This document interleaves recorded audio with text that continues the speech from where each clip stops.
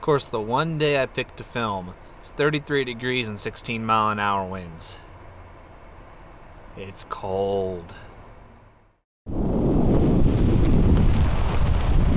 Hey guys, we're here today to go on an adventure.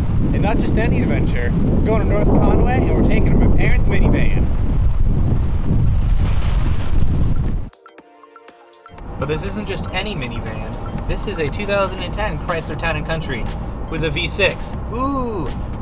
It makes no difference though. It'll kick down a gear and scream that it doesn't want to do it. It doesn't scream with power. It's very disappointing. We have this car for the day, taking it to uh, North Conway with my wife. Say hello, wife. Hello. For those who don't know, North Conway is in New Hampshire. Oh, we got a fire truck coming. Pro tip always pull over on the side of the road for Yes. vehicles.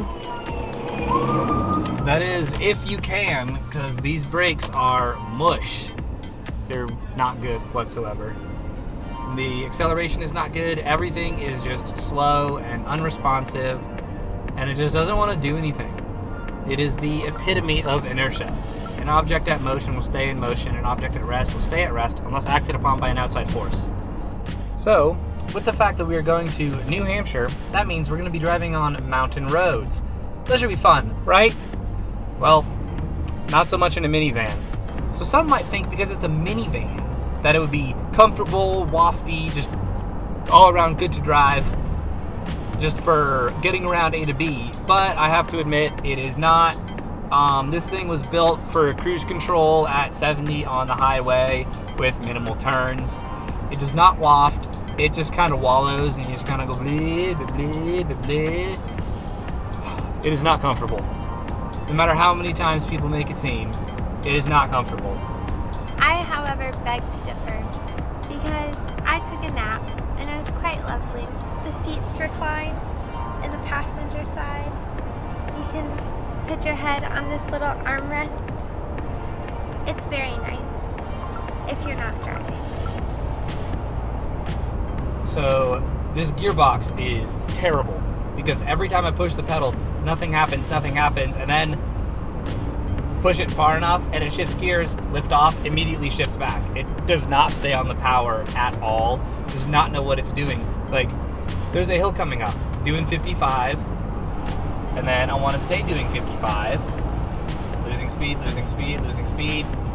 Oh, there it goes. Oh, we're at 55 again. No, don't shift back down. No, no, no, no, no, no. No, no, we're losing speed again. What are you doing? What are you doing? Come on. Go, go, go. Come on. Come on. And there it goes again. It is Yeah, it doesn't it doesn't know what it's doing. It can't make up its mind. It's just idiotic. One of the real downsides though about minivans is the lack of visibility. Because I have the A pillar right here Back in, like hide a whole car when you're just sitting at an intersection. Like I have to like move forward, backward to try to look around it. I'm like, how do you how do you see out of this thing? You look back and it's there's tiny windows back there that you can't really see out of when you're trying to change lanes. I mean like it's great that it's all boxy, but you, you, you can't see out of it. But with every car there has to be something good, right? I mean, the electric sliding doors, so when you get into a tight spot, you know, they just slide right open, you can walk on out. The seats with the aisle in the middle for you to walk back to the third row, that is genius. There's so much space back there too. One other good thing about it is, while it drives like a truck, and you really can't feel where you're going, it actually has a pretty good turning radius. You can turn into parking lots and turn around and stuff pretty easily. I was actually pretty impressed when we had to turn around on uh, Route 302 in New Hampshire, and we turned into this little like scenic area that just had a, a little spot. We were able to completely turn around right in there. Not a problem. It was great. Like a much better turning radius than I was expecting. For 2010, there's a lot of electronics on this. Like the tailgate's electronic, which is really nice because you can just press the button and walk away and it'll close. Except for the one time you forget and you go to slam it and it just kind of slams back in your face. It's really awkward. I mean, it's it's great if you've got four kids and you need to get to soccer practice.